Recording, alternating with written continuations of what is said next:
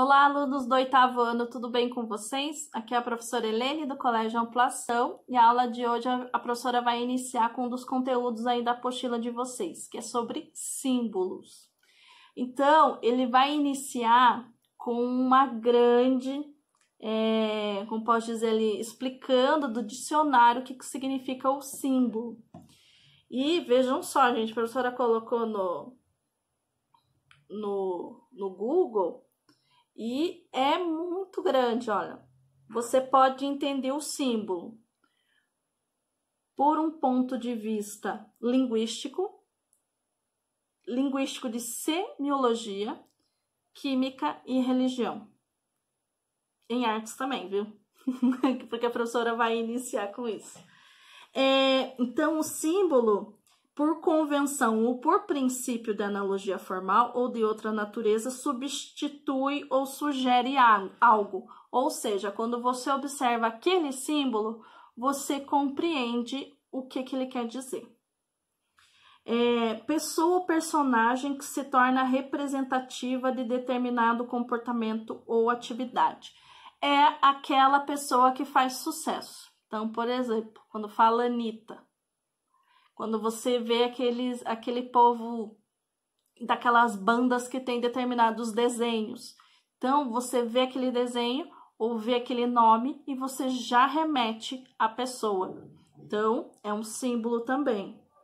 É, linguística, redução fixada por convenção do valor, ou seja, centímetros, cm, é um símbolo. Então, você compreende que é centímetros.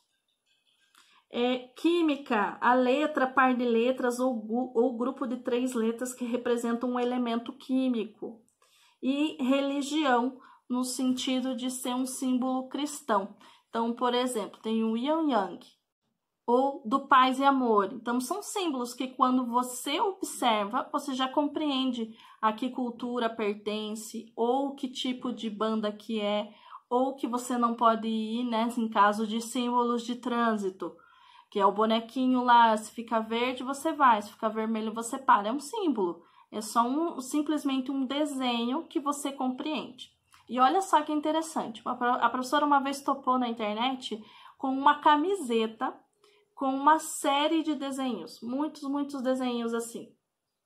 E que quando a pessoa quisesse viajar para outro país e não soubesse falar a língua, ele poderia apontar para a camiseta. Por exemplo, a água, vai ele ia achar o símbolo da água e apontar para a água, porque ele queria aquilo, ou comida, ou dormir, ou bicicleta, ou nadar. Então ele apontava, poderia apontar por qualquer um dos símbolos que com certeza a outra pessoa ia compreender, porque símbolos eles abrangem uma boa parte é, do entendimento das pessoas.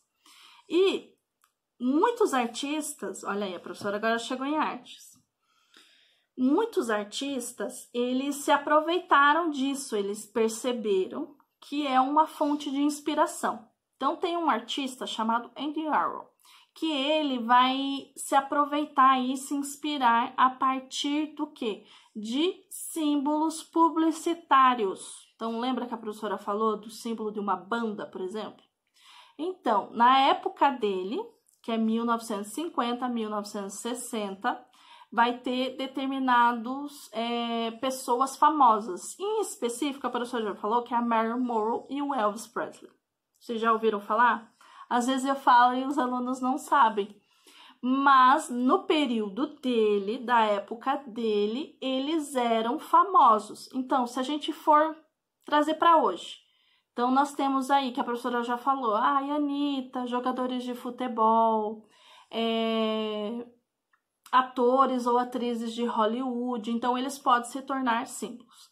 Além disso, o Andy Arrow, então, ele usava as duas principais personagens aí, né?